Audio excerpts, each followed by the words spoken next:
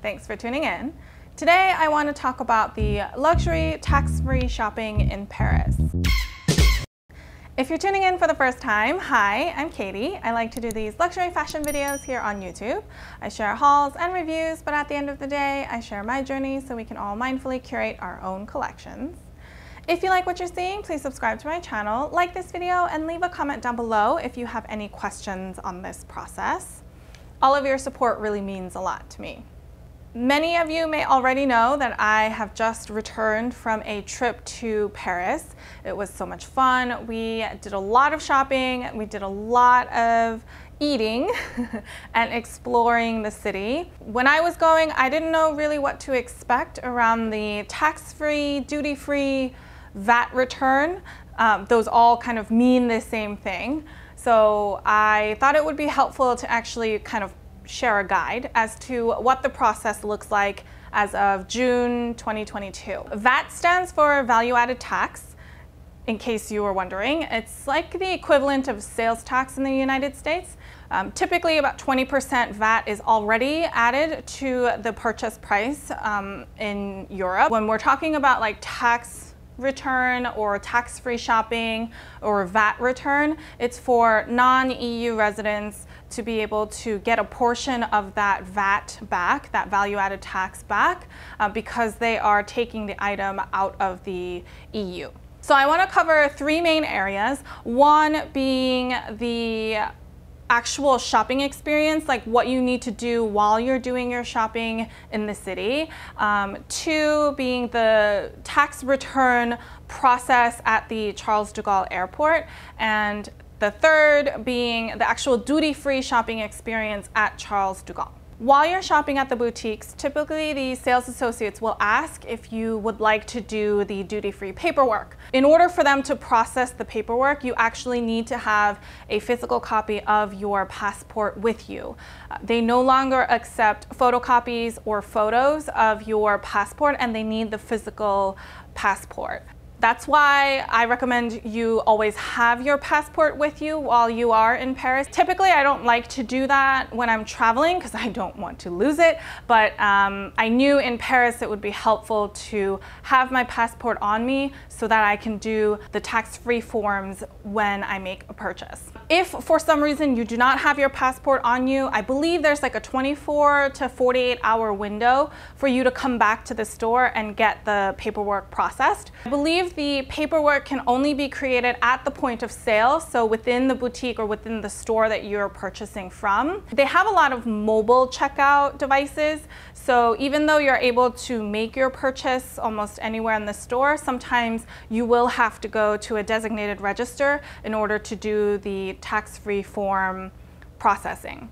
At the store, they will then give you an envelope with your tax-free form inside, as well as your sales receipt inside. Um, and it's just so that it's easy to have them coupled together. This is basically what a form looks like. It covered out the uh, sensitive information, um, but this is an example of what a form looks like. Each form contains all of the items within your purchase. So there's usually one form for purchase, if that makes sense. It's not a form per item you purchased. Basically, while you're shopping, you'll be collecting these envelopes um, from all of the places that you're getting your tax-free from. There are a handful of companies that are doing the tax-free processing. Most of mine were processed by this company called Global Blue, but I also had a couple by this company called Planet Tax Free. While they're doing your paperwork, they will also ask you how you want to receive your tax refund. Uh, there are two options. One is cash, the other being uh, back on the credit card if you purchased with a credit card. I believe the credit card is sort of the preferred method. Like whenever I said credit card, the SAs would always be like, oh, good choice. Um, because I think the cash option actually takes a slightly higher processing fee uh, from your return. If you're shopping at a department store, the process is a little bit different. So you'll make all of your purchases throughout the department store itself, you know, each of the individual kind of stalls or areas, the different floors, and then um, there's a designated detax department. Detax is basically tax-free. Uh, so there is a designated detax department at Le Bon Marché. It was on the top floor. um, at Galeries Lafayette. I believe it was on the second floor. So there's this designated area for you to bring all of your receipts with you, and then you can process your paperwork there to make sure you get all of the forms for all your purchases. I did notice that the tax-free department can get quite busy towards the end of the day, towards closing time, because, you know, makes sense. Most people want to do all of their shopping and then go to the detax department at once. I recommend, especially if you made a larger purchase, this is what I did. I went straight to the detax department in the mid-afternoon after making those large purchases so that I could pretty much guarantee that I had my forms ready with me. There were a few items that I opted not to go through the hassle, honestly, because it either meant I had to make another trip to the department store or it was going to take some more time, so I just decided it wasn't really worth it. Um, and some boutiques will have limits on how much you need to spend or how much an item needs to cost before it sort of qualifies for detax or tax-free shopping. Some places I think it's like 175 euros. Some other stores, it might be a little bit less than that, but um, it can vary. On the form itself, it will identify like the retail cost of the item, the VAT that's been added, and the VAT that's supposed to be returned. And because I am that crazy person who created a spreadsheet to keep track of all of my tax-free shopping, um, I noticed the tax return rate ranges anywhere from about 10 to maybe 15%. I think mine were mostly between the 10 and 13% range. Hermes return was 10% and I believe the Chanel return was like 13%. So that's just something to keep in mind. And also um, because there is a processing company involved, they will take a, a, small fee from all of your returns as they're processing them. So um, you might actually see a slightly smaller amount come into. It is a good idea to take a picture of your tax-free form. There's a barcode that has a specific like you know, form number on it and case number, if you will, on there. Um, so in case there's any trouble processing your paperwork or you haven't received your refund, it's a good idea. It, it's helpful if you have a picture of it because um, some of them you may end up mailing in and you won't physically have the form anymore. Now on to the tax-free processing at Charles de Gaulle. The best way to make sure your tax-free processing is as seamless as possible, it's important that you have um, all the items with you, all of your forms with you. You need your passport and that passport name needs to match the name on all of your forms. And you also need to have some sort of proof of departure. That can be your boarding pass. Um, if you haven't checked in yet because you have some of your items in your check-in luggage and you want to make sure you know you can present those before you check them in. I overheard the inspection officers uh, asking for like a reservation confirmation that shows your name and your flight details on there and they accept that as well. I recommend you consolidate all of your items into like your carry-on if you can. Um, I did have some things that were in my checked luggage, so I brought everything with me just to be sure.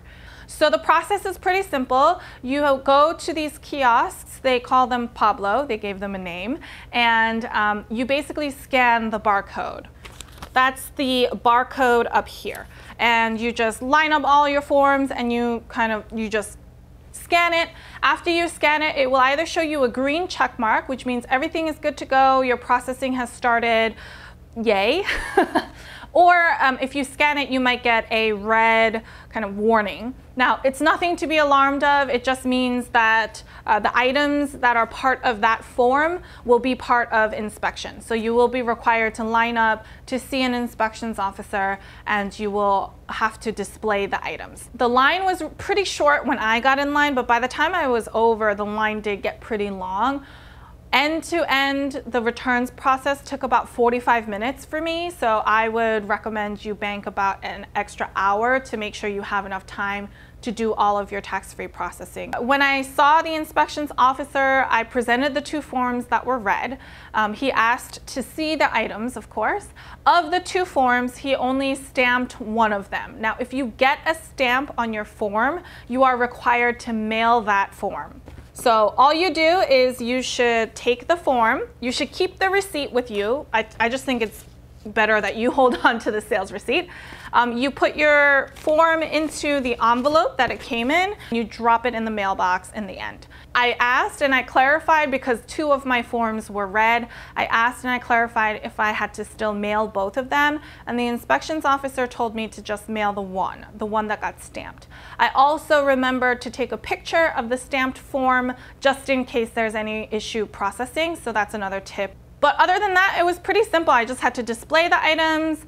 Um, I got the stamp on the form, I mailed it in, and that's really the end of your tax-free forms processing. Now you just kind of wait for your return if you opted to get it back on your credit card. For those who opted for cash, I heard the inspections officer uh, tell those passengers to then um, go through security. When they get to their gate area, they said there's like a currency exchange place, and that's where you're supposed to be picking up the actual cash. So it's an, it, it basically involves an extra step. Now you basically want to finish your check-in and then head towards security so you can start your duty-free shopping at the airport. I specifically can only share details about Terminal 2E because that's the uh, that's the terminal I flew out of. And specifically, 2E has gates K, L, and M. Our flight was actually departing from the M gates, but uh, once we checked in and we got through immigration, um, we were at the K gates. And we could see beyond the security kind of section that there were a whole bunch of shops so we had a lot of time. We Our flight was originally scheduled for 1.30 in the afternoon. We got to the airport around 7.20 in the morning, which was honestly a little too early, but we wanted to get early so we had ample time to do our tax-free processing and also ample time to check out the duty-free shops we were going to go through security and the person at the front who you know helps direct people where to go uh, was like oh your gates are actually m gates so sh you should go over there which effectively was an air tram that takes you to the m gates area um, but i just mentioned that I wanted to shop here at, because we had a lot of time before our flight. Um, and they said, oh, that's totally fine. And they let us through. So we went through the K-Gate security and K-Gate area is definitely the newer area. I, I feel like it's recently been refreshed. Uh, as soon as you walk in, it's like all the major boutiques. There's like Chanel boutique, Hermes, Dior, Cartier, Louis Vuitton, and then like around the corner, there was also like Bulgari, Tiffany, Gucci, like Celine, all the stores, like a lot of stores and a good number of restaurant options. Before you go to the airport, you can also check online what duty-free shops they have. And for example, Hermes has a boutique at the K, L, and M gate areas, but Chanel only has boutiques at the, I think, K and L gates. So not all stores will exist at all gate areas, which is why we wanted to just check out the K gates first. I was pretty surprised with how recent the inventory was. Like the Chanel boutique had a ton of 22A collection pieces out on display.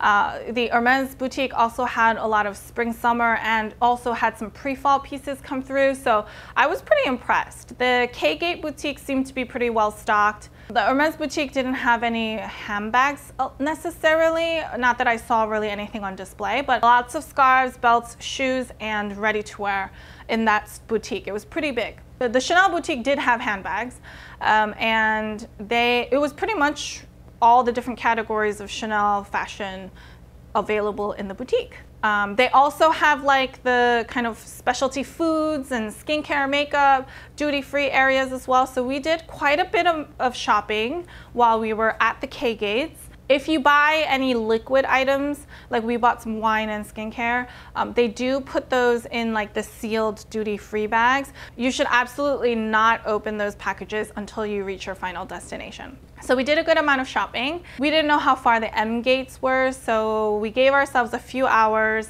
before our flight would be departing to start heading over to the M gates. So to actually get to the M gates, we had to leave the K gate area, actually exit that area, take the air tram that brings you to the M gates. So you're still airside, but you're outside of security technically. So that meant we had to go through security again once we got to M gates. So that's why it's really important to keep your liquids in the sealed duty-free package because as we were going through security, we had to take those out. The M gate area is definitely older. I don't think it's been refreshed like the K gate area has been. If I were to do it again, I would definitely do all of my shopping and do all of like grab a snack or eat or whatever at the K-Gate area and then move over to M-Gates a lot closer to my boarding time. M-Gates area also had an Hermes boutique. It was a lot smaller. Um, they had some of those like Cabas totes, Cabas, Cabas, I don't know, the, the Cabas totes on display. Um, they still had pretty recent like inventory, if that makes sense. Like I could tell it was still the spring, summer, and some pre-fall stuff, but the store is a lot smaller. All of the luxury boutiques there were smaller than they were really in, at the K-Gate area. When you actually shop duty free at the airport, there is no VAT return to have to process separately. The prices you pay at the airport already exclude the VAT. I should also mention that you do your tax-free processing from the last country within the EU that you're leaving. The EU is a little bit unique because it is a union and there are a lot of countries that are a part of it. Typically you do your tax-free processing when you are leaving a country, even if you're going to a different one. For example, if I was buying stuff in Korea and I was visiting Japan and then I was coming back to New York, I would process my duty-free shopping at Korea, I would process my duty-free shopping at Japan, and then I would come back to New York. But the EU, because it's a collection of a lot of countries, let's say you are going from New York to Paris, and then you're going to Italy, and then you're coming back to New York.